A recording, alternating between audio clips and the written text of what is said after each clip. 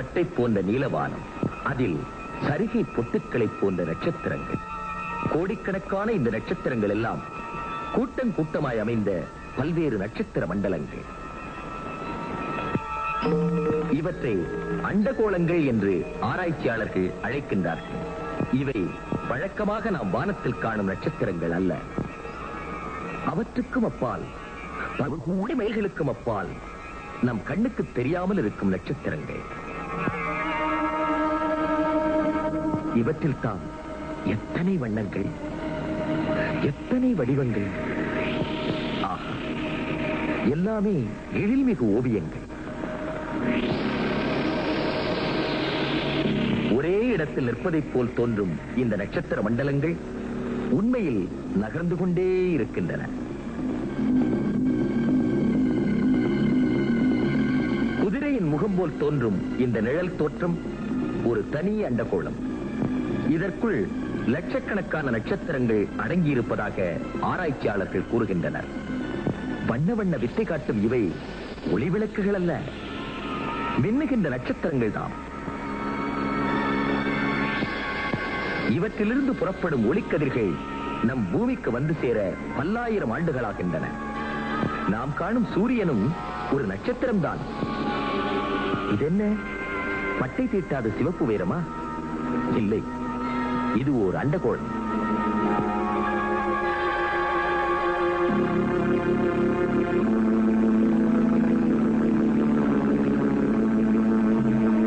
இது எங்கே போகிறது?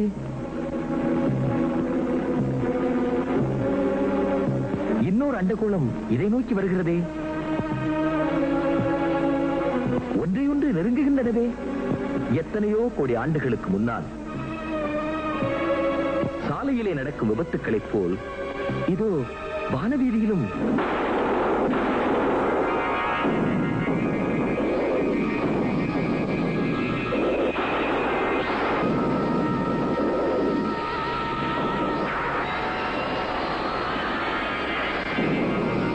இந்த பயங்கர மோதலின் விளைவாக சூரியனிலிருந்து தெரித்து விழுந்த ஒரு தீக்கோளம் தான் நாம் வாழும் இந்த பூமி.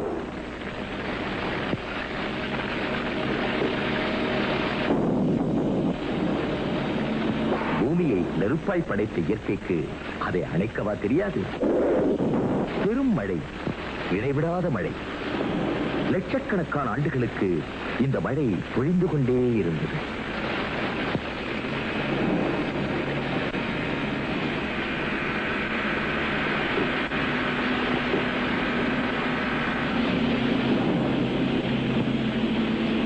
ஆனாலும் நெடுங்காலம் வரையில் இந்த பூமி ஒரு நெருப்பு கோலமாகவே இருந்தது. மழை தொடர்ந்தது மலைகளும் கற்களும் தோன்றின. மலைச்சாரல்களில் விழுந்த மழை நீர் சின்ன குழந்தை போல் தவழ்ந்தது.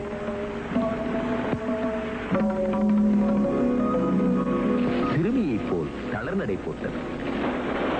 குமரியைப் போல் துள்ளி குதித்தது. அருவிகளாய் சிரித்துக் கொட்டியது. ஆறுகளாய் பாய்ந்து ஓடியது.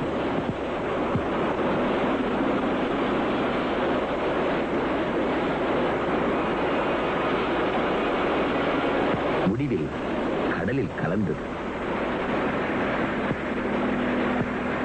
பூமியின் மேற்பரப்பு நீரால் நனைந்தது. நெருப்பு அணைந்தது. நிலமடந்தையின் உடல் குளிர்ந்தது. கோடிக்கணக்கான ஆண்டுகளுக்கு பிறகு பூமியில் தாவரங்கள் தோன்றத் தொடங்கின. காளான்கள். கல்மனதில் கூட இரக்கம் தோன்றுவதைப் போல கற்பாறைகளுக்கிடையே முளைத்த செடிகள்.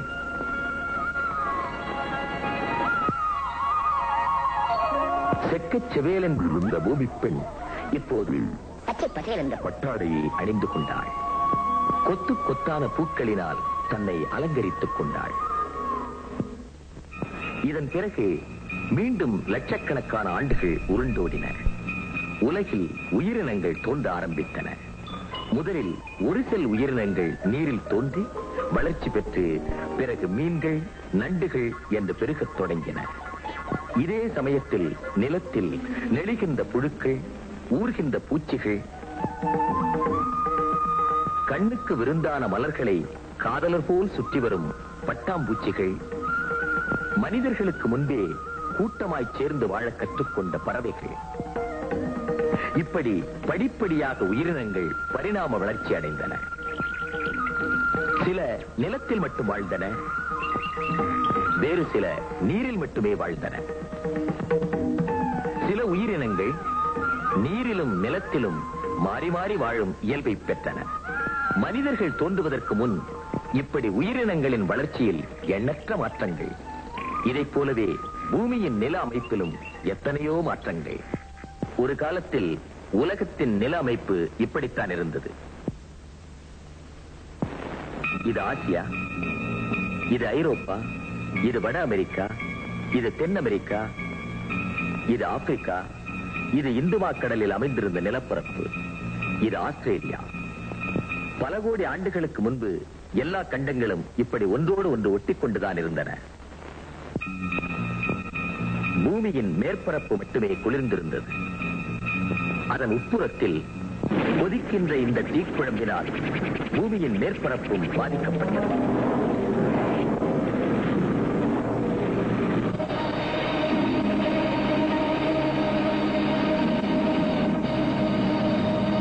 ஒன்றாயிருந்த நிலப்பகுதியில் பிளவுகள் தோன்றின. கண்டங்கள் கொஞ்சம் கொஞ்சமாய் விலகிச் சென்றன. வட அமெரிக்காவும் தென் அமெரிக்காவும் மேற்கு நோக்கி நகர்ந்தன.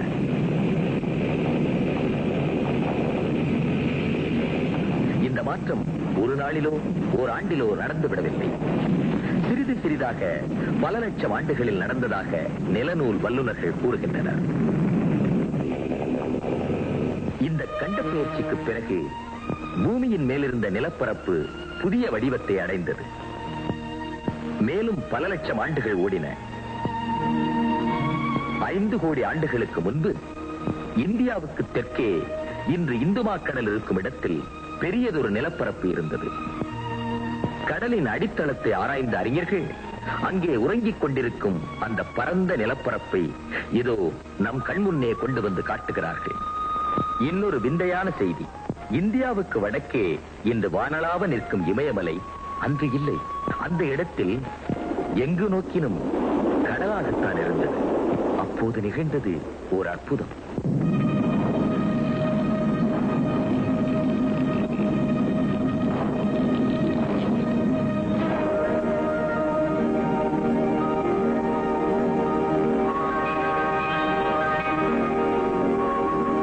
கடலாக இருந்த இடத்தில் இமயம் எழுந்தது.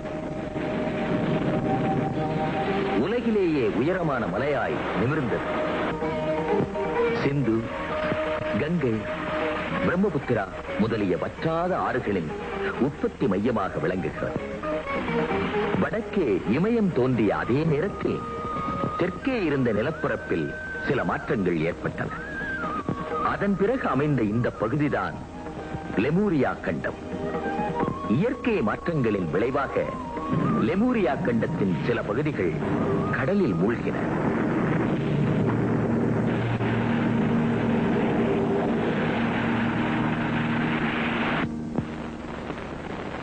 புதிதாக உருவெடுத்த இந்த நிலப்பகுதிதான் மானிடவியல் அறிஞர்கள் ஆர்வத்தோடு பார்க்கின்ற இலக்கிய ஆசிரியர்கள் இன்முகத்தோடு பேசுகின்ற உலக நாகரிகத்தின் தொட்டில் வரலாற்று மாளிகையின் திறவுகோல் கவின் கலைகளின் பிறப்பிடம் கன்னித் தமிழ் முன்னோர்களின் இருப்பிடம்.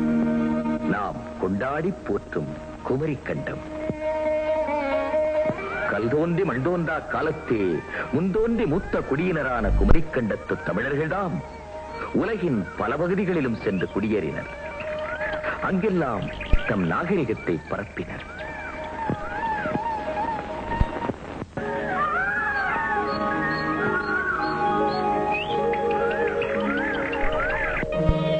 பறந்து கிடந்த இந்த குமரிக் கண்டம் பல்வேறு நாடுகளாய் அமைந்திருந்தது. காடு திருத்தி கழனியாக்கிய குமரி நாடு. எழுதுவதற்கு ஓலை வழங்கிய ஏழு குறும்பனை நாடு. ஏற்றம் மிகுந்த ஏழு பின்பாலை நாடு. தேனும் தினையும் தந்த ஏழ்குந்த நாடு. வீர மரவர் வாழ்ந்த ஏழ் முன்பாலை நாடு. சென்னல் வளம் கொழித்த ஏழு குடகாரை நாடு. கடலும் காயலும் இணைந்த கொல்லம். மணியும் மலிந்த தென்பாலி. தென்னை வளம் செறிந்த ஏழ்கங்க நாடு. பக்ருளி ஆற்றினால் பசுமையை கொஞ்சிய ஏழ்மதுரை நாடு. இதன் தலைநகரம் முத்து கொழிக்கும் கடல் முத்தமிடும் தென்மதுரை. இது தமிழ்நாட்டில் இருக்கும் இன்றைய மதுரை அல்ல. தென்னிந்தியாவுக்கு தெற்கே ஆயிரக்கணக்கான மைல்களுக்கு அப்பால் இருந்த எழில் நகரம். அழகுமணி மாளிகைகள் ஆடல் வளர் அரங்கங்கள் அரங்கூறும் மன்றங்கள் திரா மண்டபங்கள் அங்காடி நெடுந்தெருக்கள் வண்டாடும் பூம்பொழில்கள் விளையாட்டு பயிலிடங்கள் வீரர்களின் பாசறைகள் நீராடும் பொதுக்குளங்கள் நிறைந்திட்ட உயர்வளங்கள். இத்துணை சிறப்புகளோடும் வாழ்ந்த இந்த திருநகரில் இயல் வளர்த்து இசை பரப்பி கன்னித் தமிழ் களிநடனம் புரிந்த மன்றம் இது. எண்ணற்ற இலக்கிய மலர்கள் பூத்து குலுங்கிய தமிழ் பூஞ்சோலை. இந்த தென்மதுரையில் தான் தேன்மதுர தமிழ் வளர்க்க முதல் தமிழ்ச் சங்கத்தை நிறுவினான் பாண்டிய மன்னன் காய்ச்சின விழுதி. மொழி வளர்க்க சங்கம் வைத்த முதல் மனிதன் தமிழன்தான். கவியாளும் புலவர்களுடன் கண்ணல் தமிழின் இனிமையை பருக புவியாளும் மன்னர்களும் ஒன்றாய் அமர்ந்திருந்தனர் அன்று. அவர்கள் அனைவரையும் ஆண்டது தமிழ் ஒன்றே. முத்தமிழ் வளர்த்த கைகளில் மன்னன் முத்துக்களை குவித்து மகிழ்ந்தான். பொற்காசுகளை வழங்கி பூரித்தான். செந்தமிழ் பாடல்களை இயற்றியவருக்கு செம்பவளங்களை பரிசளித்தான். காவியம் இயற்றிய கரத்தில் கங்கணத்தை பூட்டி களிப்படைந்தான். காய்ச்சின விழுதியால் நிறுவப்பட்ட இத்தமிழ்ச் சங்கம் பாண்டியன் கடுங்கோன் காலம் வரை நாலாயிரத்து நானூற்று நாற்பது ஆண்டுகள் தொடர்ந்து நடந்தது. முடிநாகராயர் முதலான ஐநூற்று நாற்பத்தி ஒன்பது புலவர்கள் முதல் சங்கத்தில் இருந்தனர் எத்தனையோ பரிபாடல்கள் இணையற்ற முதுநாரை இனிமை மிகுந்த முதுகுருகள் இப்படி எண்ணற்ற நூல்கள் இயற்றப்பட்டன. இவற்றோடு முதன் முதலாக பயண நூல் தோன்றியதே குமரி கண்டத்தில் தான் பல்லாயிரம் ஆண்டுகளுக்கு முன்பே பல நாடுகளுக்கும் தரை வழியாக சென்று வந்தான் பாண்டிய மன்னன் செங்கோன். அதனை தீந்தமிழில் பாடினார் தனியூர் சேந்தன் என்னும் புலவர். தமிழன் இயற்றிய உலகின் முதல் பயண நூலான இதன் பெயர் செங்கோன் தரைச்செலவு. இவன் நிலந்தரு திருவிற்பாண்டியன்.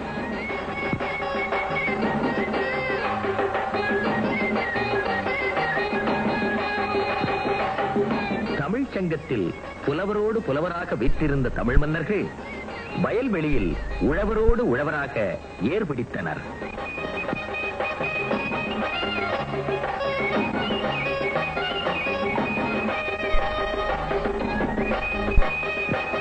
ஆண்டுக்கு ஒருமுறை ஏற்பூட்டும் முதல் நாளில் மன்னர்கள் பொன்னேர் என்ற முன்னேர் நடத்தினர். குடைநிழலில் இருந்து கோலோச்சுவதுடன் குடிமக்களின் வாழ்வில் பங்கு கொள்வதும் தம் கடமை என்று கருதினர்.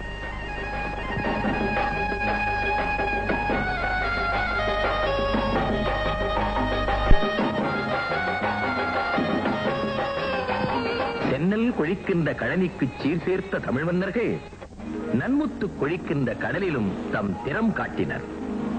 கடல் கடந்து பல வெளிநாடுகளுக்கு சென்று புகழ் வளர்த்தனர். குமரிக் கண்டத்து மாமன்னர்கள். அங்கெல்லாம் தமிழ் கலைகளையும் தமிழ் பண்பாட்டையும் பரப்பி வந்தனர். வெளிநாடுகளில் தாம் கண்ட அரிய பொருள்களையும் பயனுள்ள பயிர் வகைகளையும் கொண்டு வந்து தம் மக்களின் வாழ்வில் நலம் சேர்த்தனர். பரந்த கடலின் மீது பயணம் செய்து திரும்பிய பைந்தமிழ் மன்னன் இந்த பாண்டியன் நெடியோன் அவனை வரவேற்றும் அலைகடலுக்கு நன்றி தெரிவித்தும் குமரிக்கண்டத்து மக்கள் கொண்டாடிய விழா முன்னீர் விழா.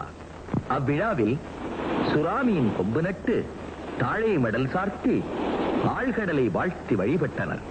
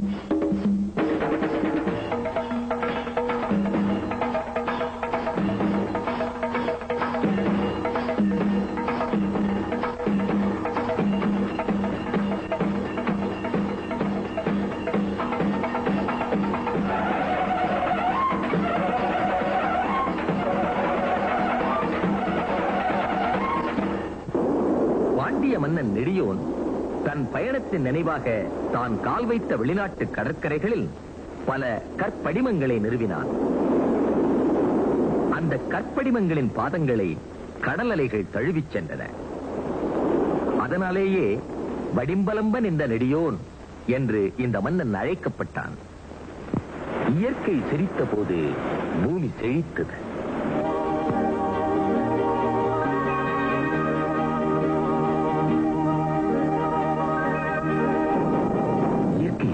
போதோ நிலம் நடித்தியது கடல் பொங்கியது. பாரெங்கும் புகழ் பரப்பிய குமரிக் கண்டம் இப்படி ஒரு இயற்கை சீற்றத்துக்கு உள்ளாகியது தமிழ் மக்களின் கலைப்பொருள்களும் சங்கத்தின் இலக்கிய சுவடிகளும் மூழ்கி மறைந்தன.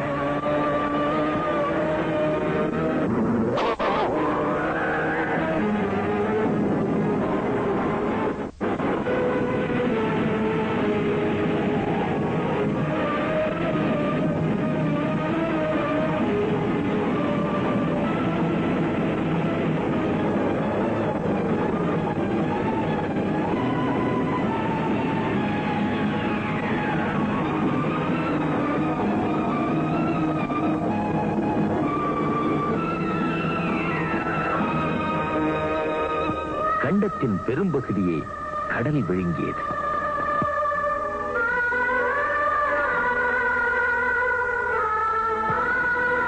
கடலில் அமிழ்ந்தது போக எஞ்சிய பகுதிகள் இவை. தென்கோடியில் அமைந்த தென்பாலி பரந்த கடல் நடுவே இருந்த பனைத்தீவுகள் சீர்மிகுந்த சூரியத்தீவு செழிப்பு மிகுந்த குமரி நாடு.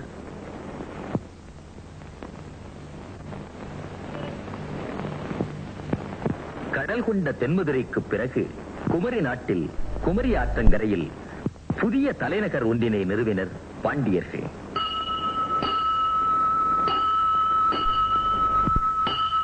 சங்க தமிழின் வரலாற்றில் மங்காத புகழ் படைத்த இந்த நகரம்தான் கபாடபுரம் என்ற கதவபுரம். நெடிதுயர்ந்த மதில் சுவர்கள் நிமிர்ந்து நின்ற மாளிகைகள் நேரான நெடுந்தெருக்கள் முத்துக்களை அரைத்து சுவரெடுத்து பவளங்களை குழைத்து சாந்து பூசப்பட்டதோ என தோன்றும் அரண்மனை. கன்னி தமிழ் செழிக்க கலைகளை வளர்க்க வாழ்க்கையை நெறிவகுக்க தலைநகரான கபாடபுரத்தில் பாண்டியர்கள் ஏற்படுத்திய இரண்டாம் தமிழ்ச்சங்கம் இது. இதனை வெண்டேர் செழியன் என்னும் பாண்டிய மன்னன் நிறுவினான். அவனுக்கு பின்னர் எண்ணற்ற மன்னர்கள் மூவாயிரத்தி எழுநூறு ஆண்டுகளுக்கு மேலாய் இச்சங்கத்தை தொடர்ந்து நடத்தினர். இப்போது ஆண்டு கொண்டிருக்கும் மன்னன் பாண்டியன் திருமாறன்.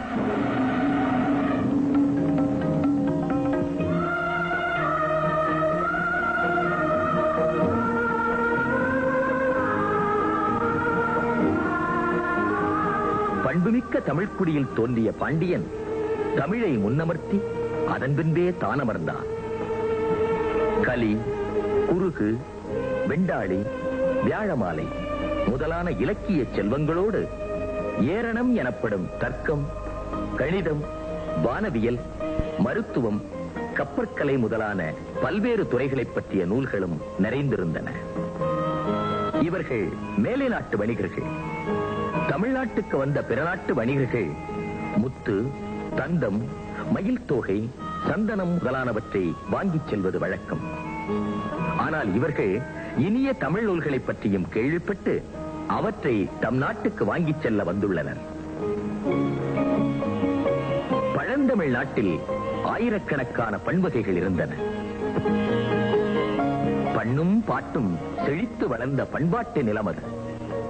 பண்ணுக்கேற்ப ஆடுகின்ற விரலியரும் பண்ணமைத்து பாடுகின்ற பாணர்களும் இருந்தனர். இப்படியெல்லாம் மன்னர்கள் நற்றமிழா முத்தமிழை நாடெங்கும் பரப்பி வந்தனர். முடிமன்னர்கள் போர் செய்ய நேர்ந்தால் பெண்டிர் முதியோர் திருமணமாகி குழந்தை இல்லாத ஆடவர் ஆகியோர் ஊர் மன்றத்தில் ஒதுங்கி நிற்குமாறு அறிவித்துவிட்டு அதன் பின்பே போர் தொடங்க வேண்டும் என்று புறப்பாடல் பாடிய புலவருக்கு பொன்முடிப்பை வழங்கினான் மன்னன். இவர் தள்ளாத கிழவர் மட்டுமல்ல பொல்லாத புலவரும் கூட. காதல் சுவையூறும் அகப்பாடல்களை இளமை கொஞ்ச கொஞ்ச எப்படி பாடியிருக்கிறார் தெரியுமா?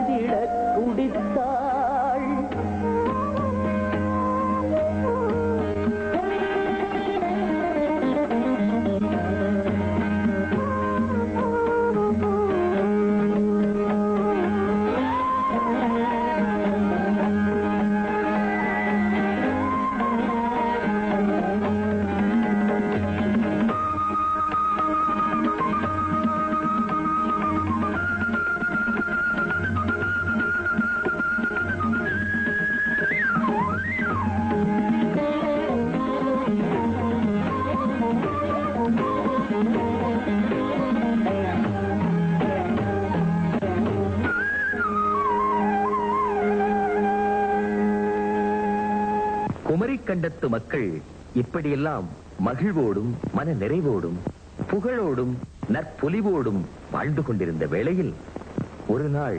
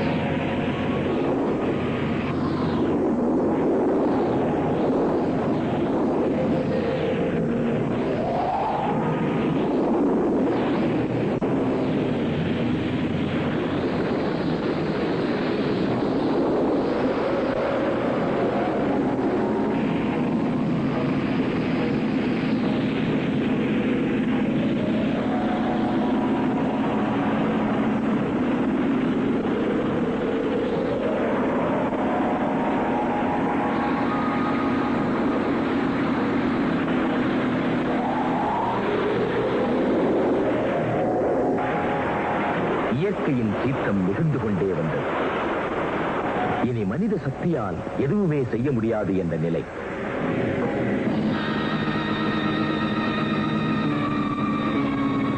பொன்னும் மணியும் பாண்டியனின் காலடியில் உருண்டோடின. அவற்றை பொருட்படுத்தவே இல்லை அவன். எல்லா செல்வங்களையும் இழந்தாலும் எதிர்கால சந்ததிக்காக இந்த தமிழ் செல்வங்களையாவது காப்பாற்றியே தீர வேண்டும் என்ற உறுதியோடு செயல்பட்டான் செந்தமிழ் வேந்தன்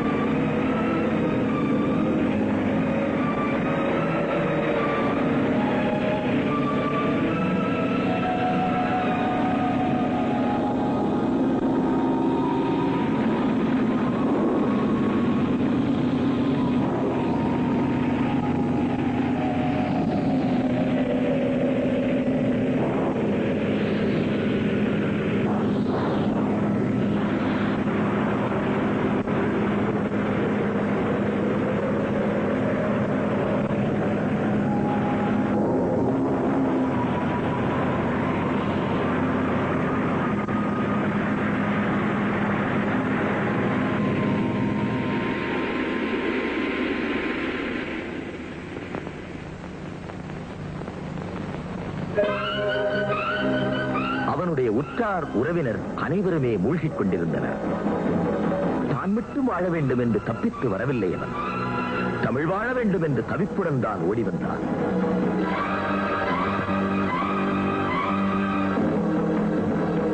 இவன் செல்லும் இடமெல்லாம் உடன் செல்லும் ஆட்பெரும் படையும் அணிதேர் புறவியும் இன்று இல்லை.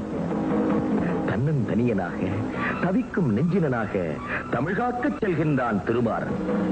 அவன் பயணத்தை வரலாறு ஒரு நாள் பயமணக்கச் சொல்லும்.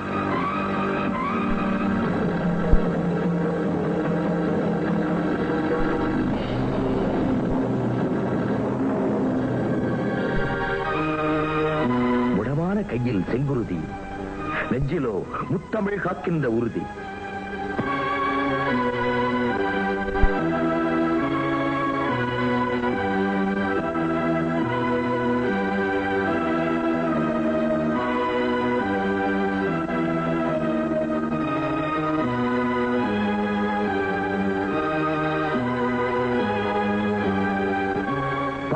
ஆற்றின் கரையில் தொடங்கிய தமிழ்ச்சங்கத்தின் வரலாறு குமரி ஆற்றின் கரையில் தொடர்ந்து வைகை ஆற்றின் கரையை வந்தடைந்தது.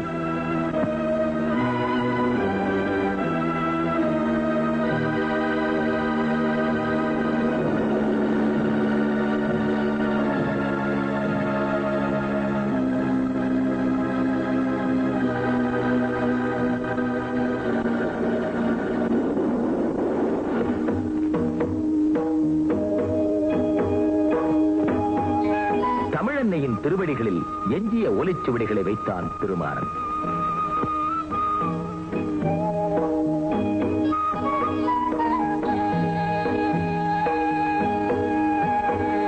கண்களில் மகிழ்ச்சி கண்ணீர் நிறைந்தது.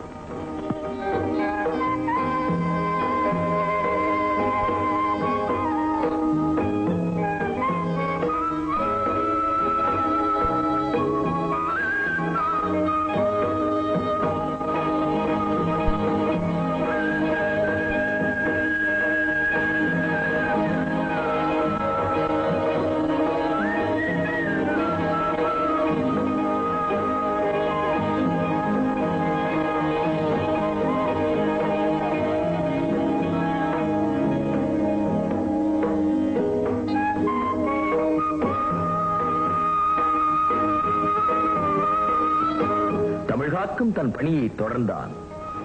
அமிழ்தான மதுரை திருநகரில் மூன்றாம் தமிழ்ச்சங்கத்தை தொடங்கினான் பாண்டியன் திருமாறன்.